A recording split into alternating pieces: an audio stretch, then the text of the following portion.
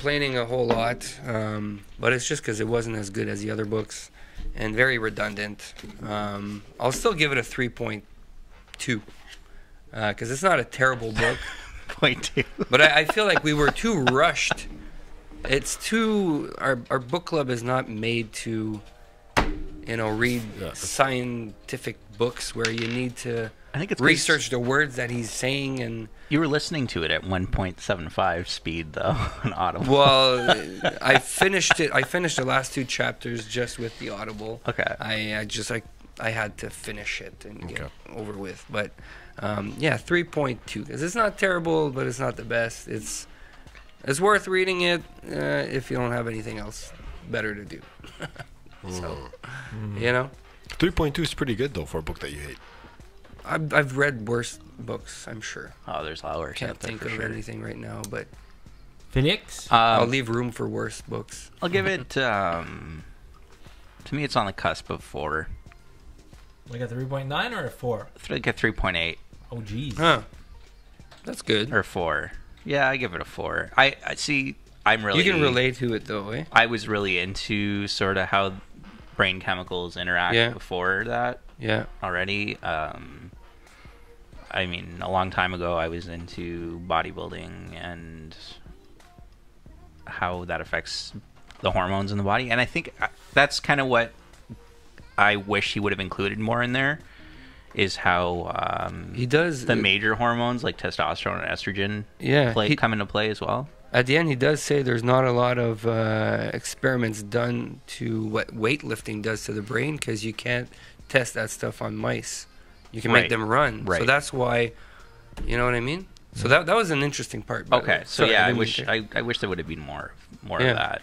maybe now in, tw- in 2019 there for is sure, more. there is now for sure. But they recently discovered that they can analyze the brain without dissecting it. Yeah. So that's going to lead to more human trials. Um, I know for sure strength training is probably like a mix of strength and aerobics is necessary. You Yeah. can't just do running. You can't Yeah. just run, man. You need you need muscle mass. Yeah. Um, so I give this book three and a half. Hmm. Um, I think because a lot of it is uh, repetitive, like Yeah. what you said, Chris. Yeah. Um, it was a good book, uh, but a lot of scientific terms, um, and you know you'd have to like this book would probably take you a month to read, even if you're reading those like if you're if this is the only book you're reading, hmm you need to research a lot of stuff to understand what he's talking about. I wonder if it's better for someone that's like like a trainer, that they understand all these words already. They Right, studied but them. Yeah, but you know Probably what? better for someone like that. I feel like The the more the more scientific terms you throw at somebody, the less they're listening.